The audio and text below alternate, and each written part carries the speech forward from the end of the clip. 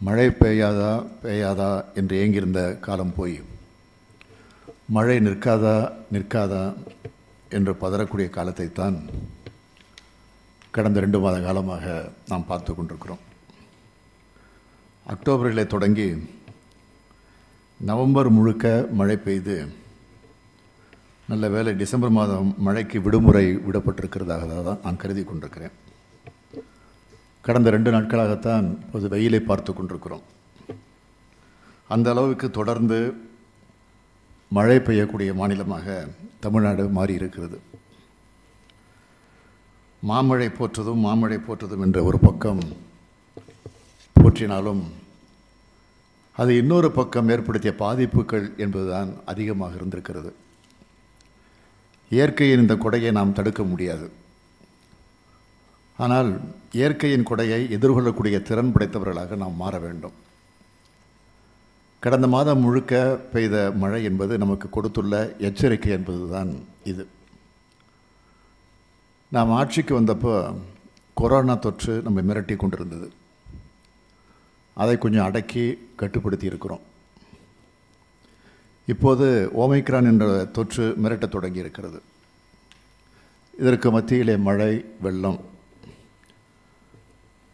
அதுவும் அதிகப்படியான மழையும் பெஞ்சிருக்கு வெள்ளமும் ஏற்பட்டிருக்கு.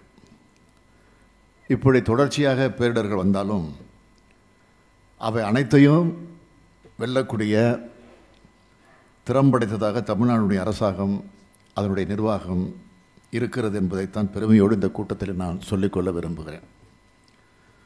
அமைச்சர்கள் முதல் அனைத்து துறை செயலாளர்கள் அரசு அலுவலர்கள் ஏன் தலைமைச் செயலகம் முதல் அனைத்து அலுவலர்கள் வரைக்கும் முன்கு களப்பணியாளர் மொத்தமும் களத்தில் இருக்கின்ற காரணத்தால் தான் வரலாறு காணாத மழை பெஞ்சாலும் பாதிப்பு என்பது மிக மிக குறைவாகத்தான் ஏற்பட்டிருக்கு.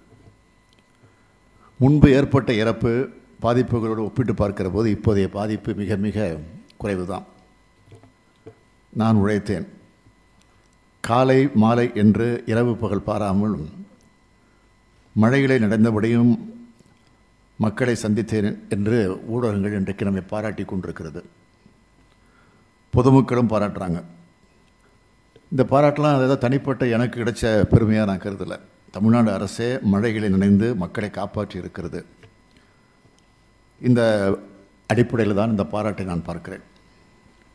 முன்கள பணியாளரோடு நானும் ஒரு பணியாளராகவே களத்தில் நிற்கிறேன் நிற்பேன் என்ற உறுதியை மீண்டும் தெரிவிச்சுக்க விரும்புகிறேன் இது போன்ற பேரிடர்கள் ஏற்படும் போது மனித உயிரிழப்புகள் பொது சொத்துக்கள் மற்றும் உட்கட்டமைப்புகளுக்கு ஏற்படக்கூடிய பாதிப்புகளை வெகுவாக குறைச்சி தமிழ்நாட்டை அனைத்து வகையான பேரிடர்களிலிருந்து எதிர் திறம்பட எதிர்கொள்ள முடியும். அதற்கான திட்டமிடுதல்களை தொடங்குவதற்கான கூட்டம்தான் இந்த கூட்டம். பேரிடர் தடுப்பு பணிகள் என்பது பேரிடர் காலங்களில் மக்களை காப்பது மட்டுமல்ல அத்தகைய பேரிடர் ஏற்படாத சூழலை உருவாக்கிவிடுவதுதான் மிக மிக முக்கியமானது. இந்த நோக்கத்தை அடிப்படையாக கொண்டு சென்னை பெருநகரத்தை வெள்ள நீர் சூழாமல் தவிர்க்கவும் தடுக்கவும் பெருநகர வெள்ள நீர் மேலாண்மை குழு அமைக்கப்படும் என்று சட்டப்பேரவையிலே ஏற்கனவே நாம் அறிவிச்சிருக்கிறோம். அறிவித்த உடனேயே அந்த பணிகளையும் தொடங்கினோம். நீர்வழித்தடங்களில் ஆக்கிரமிப்புகளை அகற்றுவதிலும் பேரிடர் பாதிப்புக்குள்ளாகும் பகுதிகளை கவனத்துடன் கண்காணிக்கவும் பாதிப்புகளை குறைக்கவும் முன்னெச்சரிக்கை மற்றும் தனி தடுப்பு நடவடிக்கைகளை முன்கூட்டியே திட்டமிட்டு செயல்படுத்த வேண்டும் என்பதில் அரசு கவனம் செலுத்தியது. வடகிழக்கு பருவமழை துவங்குவதற்கு முன்னதாக பதினொன்று ஒன்பது ரெண்டாயிரத்தி இருபத்தொன்று தலைமைச் செயலாளர் தலைமையில் அதைத் தொடர்ந்து இருபத்தி நாலு ஒம்பது ரெண்டாயிரத்தி இருபத்தி ஒன்றில் என்னுடைய தலைமையில் இருபத்தி ஆறு பத்து ரெண்டாயிரத்தி இருபத்தொன்று எனது தலைமையில் அனைத்து மாவட்ட ஆட்சித்தலைவர்கள் கூட்டத்தை காணொலி கூட்ட காணொலி காட்சி மூலமாக நடத்தி அதற்கு திட்டமிடணும் எப்படியெல்லாம் செயல்படுத்தணும்னு அப்பவும் பேசியிருக்கிறோம். அக்டோபர் மாத துவக்கத்திலே மழை பெய்ய தொடங்கிடுச்சு.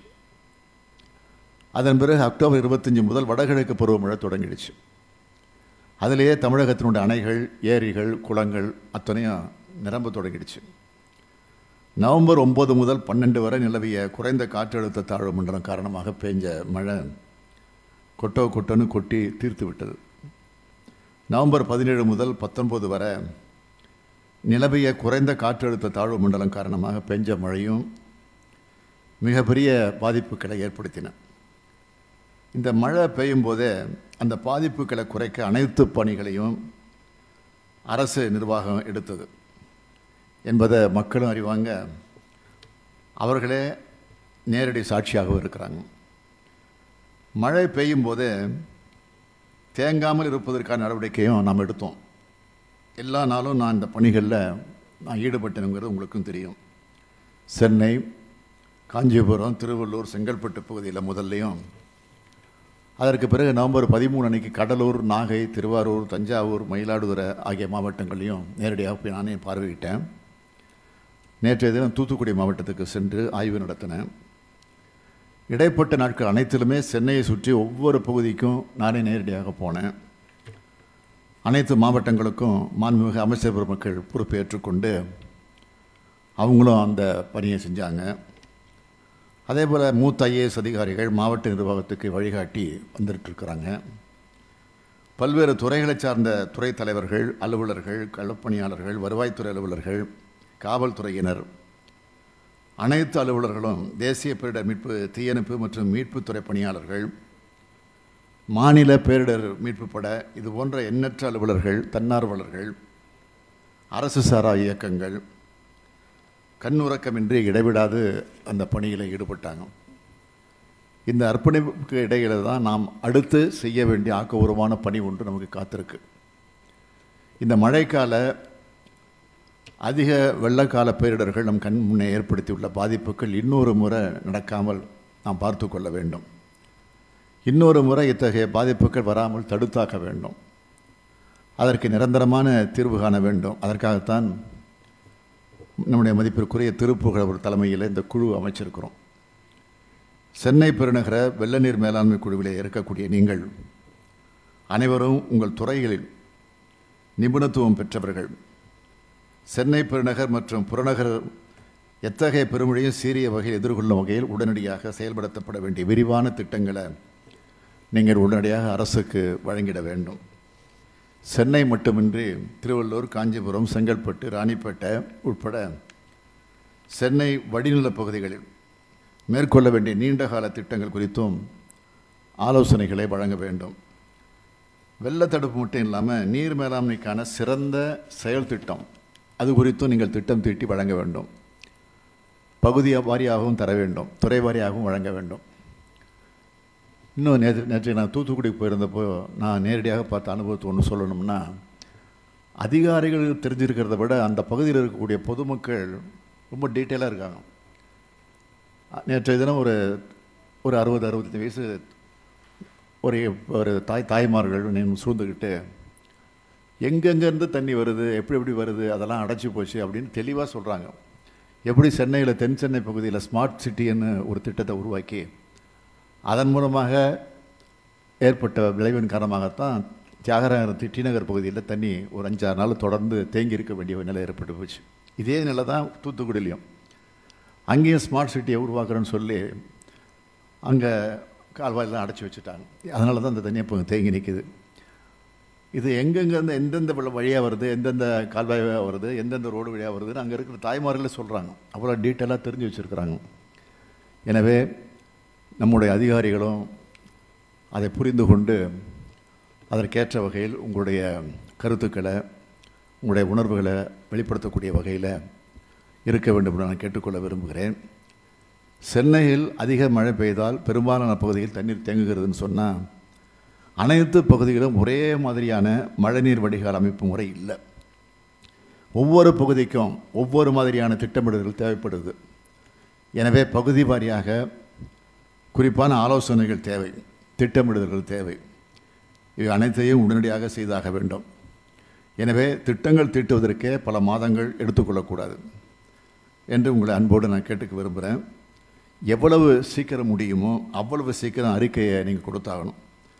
எவ்வளவு விரைவாக முடிக்க முடியுமோ அவ்வளோ விரைவாக திட்டங்களை நடைமுறைப்படுத்தி காட்டுவோம் என்று உங்களையெல்லாம் நம்பி உங்களுடைய ஒத்துழைப்போடு அதை நிச்சயமாக நிறைவேற்றுவோம் என்ற நம்பிக்கை எனக்கு இருக்குது கடந்த காலங்களில் மழைநீர் அதிகம் தேங்கி மக்கள் பாதிக்கப்பட்ட இடங்களை கண்டு ஆராய்ந்து அவ்விடங்களில் மீண்டும் பாதிப்புகள் ஏற்படாமல் இருக்க கூடுதல் கவனம் செ- செலுத்தி மக்கள் பாதிக்கப்படுவதை தடுப்பதற்கான உரிய வழிமுறைகளை கையாள வேண்டும். தொடர்புடைய அனைத்து துறைகளும் இக்குழுவிற்கு தேவையான அடிப்படை விவரங்கள் வழங்கி முழு ஒத்துழைப்பை வழங்க வேண்டும். வரும் காலங்களில் சென்னை மட்டுமின்றி தமிழகம் நீர் மேலாண்மையில் சிறந்த மாநிலமாக விளங்க அனைவரும் நீங்கள் ஒருங்கிணைந்து செயல்பட வேண்டும். ஆட்சிக்கு வந்து அஞ்சு மாதம் ஆச்சு. எனவே மக்கள் தங்களுக்குள்ளே ஓரளவுக்கு சமாதானம் செஞ்சுக்கிட்டு இருக்கிறாங்க. அடுத்து வரும் காலங்களில் நம்மிடம் அது அதிகமாக எதிர்பார்க்குறாங்க. ஆக போகிற இடங்களில் சொல்கிறாங்க நீங்கள் அஞ்சு மாதம் ஆறு மாதம் ஆயிருக்கு. நிச்சயமாக அடுத்த வருஷம் இந்த மழை வரத்துக்கு முன்னாடி இதெல்லாம் செஞ்சு முடிச்சிடுவீங்கன்னு நம்பிக்கை எங்களுக்கு இருக்குது அப்படின்னு பொதுமக்களே இன்றைக்கு பேசிக்கிட்டு இருக்கிறாங்க. கடந்த முறை ஏற்பட்ட பாதிப்புகளை அடுத்த முறை நடக்காமல் தமிழ்நாடு தடுத்து விட்டது என்ற பெயரை நாம் எடுத்தாக வேண்டும். எனவே திட்ட அறிக்கையை தாருங்கள். அதை விரைவாக தாருங்கள். துல்லியமாக தாருங்கள். நடைமுறை சாத்தியம் உள்ள திட்டங்களை தாருங்கள். திருப்புகள் உட்பட அனைவருடைய திறமை மீதும் தமிழக அரசுக்கு ஏன் எனக்கும் மிகுந்த மரியாதை இருக்கிறது. ஆக அனைத்து திறமைகளையும் தமிழகத்தின் மக்களை காக்கக்கூடிய திட்டங்களை தீட்டுவதற்கு பயன்படுத்துங்கள் என்று நான் உங்களையெல்லாம் கேட்டு என்னுடைய உரையை நிறைவு செய்து கொள்கிறேன். நன்றி வணக்கம். உடனுக்குடன் செய்திகளை தெரிந்து கொள்ள சன் நியூஸ் பெல் ஐகானை கிளிக் பண்ணுங்க.